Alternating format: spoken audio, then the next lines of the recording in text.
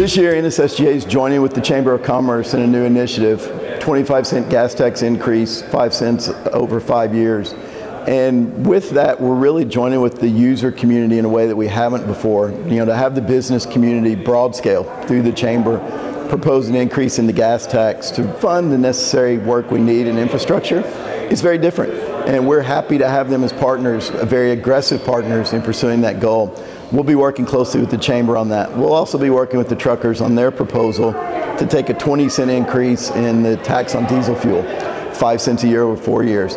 All of that will go a long way towards funding the necessary work we have to do in, in creating our, our circulatory system for our economy in a way that makes it function better for tomorrow.